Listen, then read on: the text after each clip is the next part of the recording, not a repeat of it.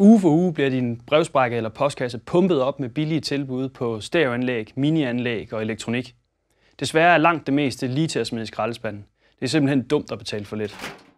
Nogle tror måske, at god lyd også betyder store højtalere, grimme anlæg og dyre løsninger, men det er heldigvis langt fra tilfældet.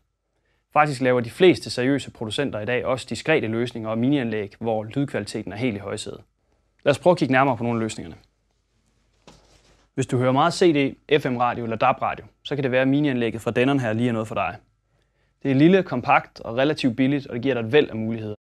Du kan fx koble din iPod på via USB direkte her i fronten, og du har selv mulighed for at vælge, hvilke højtalere du synes passer bedst til systemet. En anden fordel ved det traditionelle minianlæg er muligheden for at koble en aktiv subwoofer på systemet. Det giver dig mulighed for at løfte basslyden markant op og få anlægget til at lyde større, end det i virkeligheden er. Det kan især være en fordel, hvis du ønsker helt små, diskrete højtaler, hvor basslyden er svag i forvejen. Det største fordel ved minianlægget fra denne her er nok i virkeligheden vellyden. Det lyder utrolig godt. Hvis du er mere til integrerede iPod-løsninger, så kan det være, at Zeppelin Mini her er noget for dig.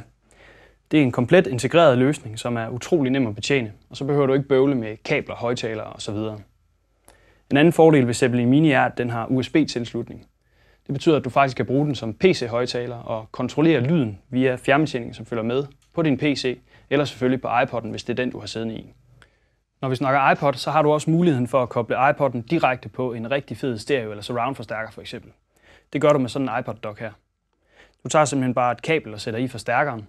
Fordelen er, at du kan koble iPod docken på en hvilken som helst forstærker, uanset om den er splinter ny eller tusind gammel.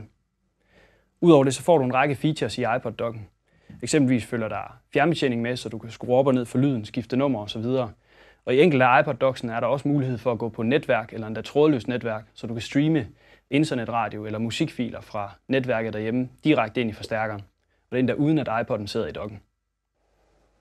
Bare fordi det er et minianlæg eller en diskret løsning, du skal have, behøver du ikke at gå på kompromis med den fede lydkvalitet. Tag dig god tid til at vælge, og lad os demonstrere løsningerne for dig, inden du beslutter dig.